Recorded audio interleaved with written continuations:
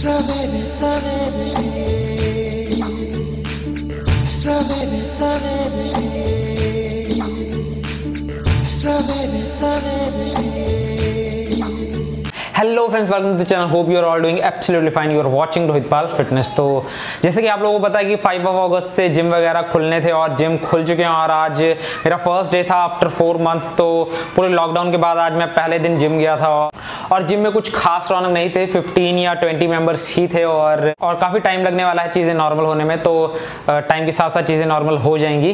तो इस पूरे लॉकडाउन में जो भी मैंने वर्कआउट रूटीन फॉलो की थी, वो उसकी मैं एक सीरीज़ अपलोड करूँगा अपने चैनल पे। मंडे टू सैटरडे तक की मैंने कौन कौन सा वर्कआउट परफॉर्म किया है कौन सा कार्डियो का वर्कआउट परफॉर्म किया है तो मैं सिक्स डेज़ तक सिक्स रेगुलर वीडियोस अपलोड करने वाला हूँ मंडे ट्यूसडे वेडनेसडे सैटरडे तक की मैंने कौन कौन सा वर्कआउट परफॉर्म किया कौन सा बॉडी पार्ट कौन से डे पे परफॉर्म किया तो मैं ये पूरी सीरीज़ बनाने वाला हूँ। तो आज की जो वीडियो होने वाली है, वो पूरे बैक के वर्कआउट की होने वाली है, जो कि मैं मंडे को परफॉर्म करता था। तो आज की ये पूरी वीडियो बैक के वर्कआउट पे होगी तो मेक श्योर ये वीडियो पूरी देखें और चैनल पे नए हो तो सब्सक्राइब करो बेल आइकन को दबाओ ताकि ताकि वीडियो का अपडेट सबसे पहले मिले। और मैंने बैक के वर्कआउट पे एक और वीडियो बनाई है, जिसमें मैंने सिर्फ़ डंबल्स का यूज़ किया है। तो अगर आपके पास डंबल्स है तो आप बैक पूरी ट्रेन कर सकते हो। वो वीडियो आप देख सकते हो। एक मैंने प्लेलिस्ट बनाई हुई है। प्लेलिस्ट में जाके आप देख सकते हो, जो डंबल्स के साथ फुल बॉडी वर्कआउट है, वो आप चेक कर सकते हो। तो चलो करते हैं शुरू। तो एक्सरसाइज स्टार्ट करने से पहले थोड़ा सा वार्म अप कर लेते हैं। थोड़ी सी डायनेमिक स्ट्रेचिंग भी कर लेते हैं। और या आप फुल बॉडी वार्म अप भी कर सकते हैं। उसके लिए आप स्किपिंग कर सकते हैं, या जंपिंग जैक्स भी कर सकते हैं, या कुछ थोड़ी सी जॉगिंग या कोई भी जंपिंग एक्सरसाइज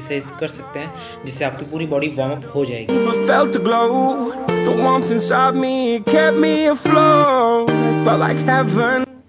तो सबसे पहले एक्सरसाइज जो होने वाली है वो है बार रोइंग और ये आप ग्रिप चाहे सुपीनेशन रखें या प्रोनेशन रखें, ज़्यादा फ़र्क नहीं पड़ता है।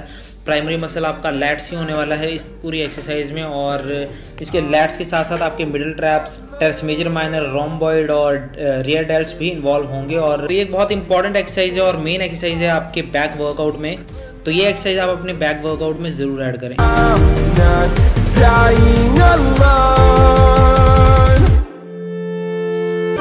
My best friend to 23 She left her body and hovered above me.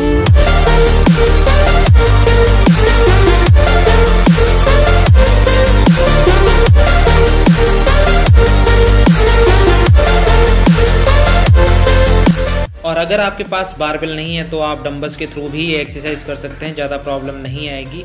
आपको बस अपनी बैक बिल्कुल सीधी रखनी है और डंबल के साथ ये एक्सरसाइज भी आप परफॉर्म कर सकते हैं।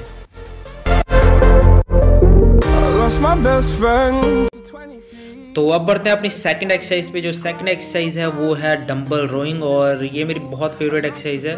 और ये जब भी मैं एक्सरसाइज परफॉर्म करता हूँ तो मैं इसके एक्स्ट्रा सेट्स भी कर लेता हूँ बिकॉज़ ये एक्सरसाइज मुझे काफ़ी अच्छी लगती है और इफ़ेक्टिव लगती है। और जब ये एक्सरसाइज हम परफॉर्म कर रहे हैं तो आपकी बैक जो है, वो बिल्कुल सीधी होनी चाहिए और तो ये एक्सरसाइज परफॉर्म करते हुए जो आपका प्राइमरी मसल है, जो ट्रेन हो रहा है, वो है लैट्स और इसके साथ साथ अगेन आपके middle traps teres major minor और रियर डेट्स भी ट्रेन हो रहे हैं, पर प्राइमरी मसल आपका लैट्स है। तो ये भी एक बहुत अच्छी एक्सरसाइज है और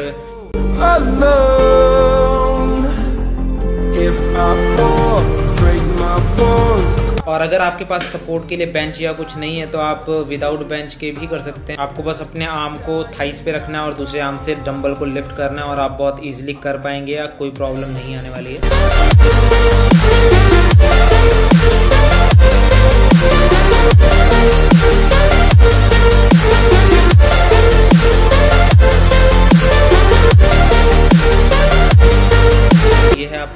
एक्सरसाइज डम्बल रोइंग तो ये कुछ बेसिक और मेन एक्सरसाइज हैं जो बैक के वर्कआउट में होती हैं और आप भी इन्हें स्किप ना करें, ये बहुत इंपॉर्टेंट है आपके लैट्स के लिए।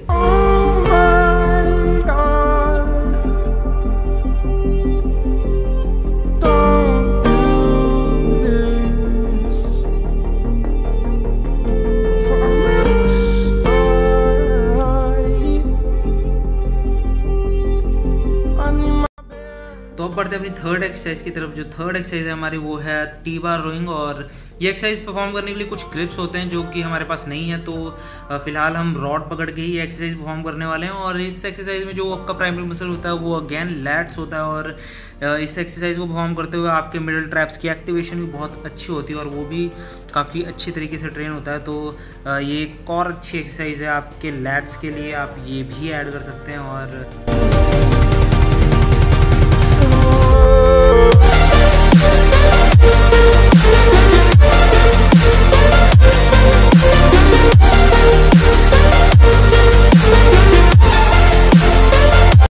फॉर्म करते हुए जो आपका प्राइमरी मसल होता है, वो आपका होता है लैट्स और सेरेटस इंटीरियर जो कि थ्री लाइंस होती हैं चेस्ट के साइड पे।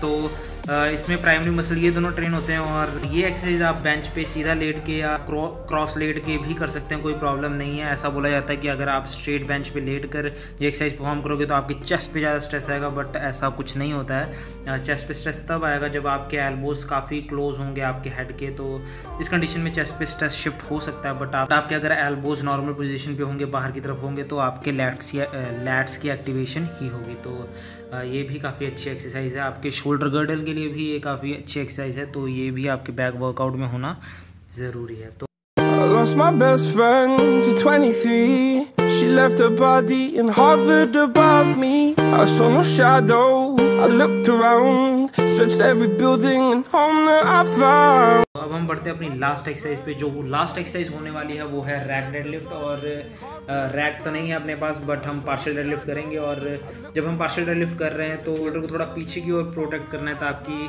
आपकी पूरी बैक की इन्वॉल्वमेंट हो। आपके ट्रैप से बहुत ज़्यादा स्ट्रेस आता है जब आप शोल्डर को पीछे को प्रोटेक्ट करते हैं और जब आप ये एक्सरसाइज परफॉर्म कर रहे हैं मेक श्योर की जो बार है बारबेल है, वो नीच से नीचे को ना जाए। मेनली ये एक्सरसाइज आपके लोअर बैक के लिए है बट ओवरऑल बैक के लिए ये एक्सरसाइज बहुत अच्छी है तो ये भी आप अपने बैक वर्कआउट में ऐड कर सकते हैं। तो ये अपनी लास्ट एक्सरसाइज है तो ये सारी एक्सरसाइज करने के बाद, कोई भी एक्सरसाइज करने के बाद मैं कार्डियो ज़रूर करता हूँ 15 या 20 मिनट्स तो हम 15 या 20 मिनट्स अब स्किपिंग करेंगे और स्किपिंग मैं करता रहता हूँ। स्किपिंग मैं रेगुलर ही करता हूँ, एक दो दिन छोड़ के मैं करता ही हूँ स्किपिंग चाहे वार्म अप में कर लिया या कार्डियो में कर लिया, और भी कुछ कार्डियो के वेरिएशन है तो मेनली बट मैं स्किपिंग पे ही फोकस करता हूँ। स्किपिंग हमारी सबसे लास्ट एक्सरसाइज होने वाली है और तो अपनी जो नेक्स्ट वीडियो होगी वो होगी चेस्ट के वर्कआउट पे जो जो कि मैं मंडे या ट्यूसडे को अपलोड कर दूँगा। बस वीडियो बहुत जल्दी आ जाएगी तो अगर ये वीडियो अच्छी लगी है तो इसे लाइक करो और चैनल को सब्सक्राइब करो और सपोर्ट करते रहो।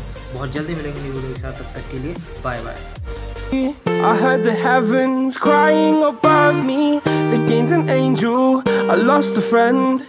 I felt like dying again and again. I went through hell, stared at death But I keep fighting with each living breath. I saw no way out from where I stood. Felt like the fire had burned me through Now you're gone, I'm alone. I guess it's time to get better. Through the pain, I will go alone